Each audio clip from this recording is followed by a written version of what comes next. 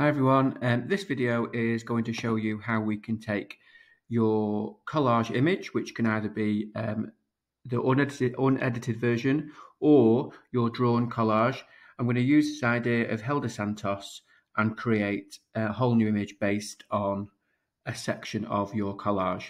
So you can either um, take um, your collage image, or you can take your kaleidoscope image that you've created using the web generator. So you can either use your collage looks like this. Make sure it's the JPEG version. This way, you've got no layers in your layers palette. Or you can, of course, use your drawn version that looks like this, as long as it's the JPEG version. And um, you'll know that because there are no layers on your image. So I've just gone to File and Open and opened my image. We're then going to use the um, rectangular marquee tool. I click on that, and then you're going to select a part of the image that you want to use as part of um, your rotated square. So I'm going to hold down Shift and select a section of this image that I'm going to rotate. And then I'm going to go to Edit and Copy and it's going to end up looking something like this. So to, to get to this, we need to go to File and New. I'm going to select an A4 piece of paper under International Paper. Once we've got our A4 paper, we can go to Crop and make sure your selection is set to Crop at the top. And we're going to go to Square. So we've used the Crop tool here, we've set it to Square, and we can just click the tick. From here, going to make sure our rulers are shown. So make sure the tick is on rulers here. I'm going to drag them down. So we've got four equal segments to our square. Then back on your collage, I've selected this section. I'm going to go to edit and copy. And then I'm going to go to edit and paste.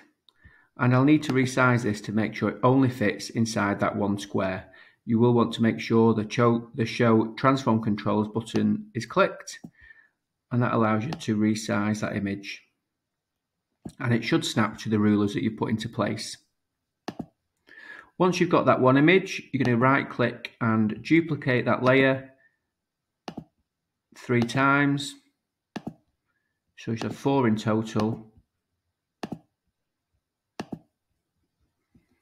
And then from here, we can then select and move each layer into its own square. Now what we need to do is to rotate each of the squares to make sure that they are reflected and rotated appropriately. So on the first top left one, I'm going to rotate this layer. So edit and transform, and I'm going to flip horizontal. So we've now got a mirror image on that top row and I should just be able to click on the bottom left one as long as your auto select layer is selected. When you hover over the corner and you see the arrows changes, you should be able to just rotate that and click tick.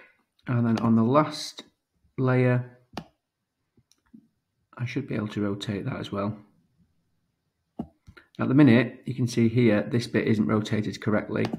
So I'm going to go to edit transform, flip horizontal, and then rotate that to make sure that all four layers are rotated appropriately. And that's your uh, collage complete. So now we just need to go to File and Save As, and save that as a new JPEG. Or of course you could select part of your kaleidoscope image and just follow the same process, select a square like I've done here using the marquee tool, copy and paste it onto a new image and then create a whole new collage based on uh, your kaleidoscope image. Or you could go back and create a whole new image based on your drawn uh, image. Exactly the same process. Use the marquee tool, hold down shift, control and C to copy, and then select and put them into your, your own square. Thank you.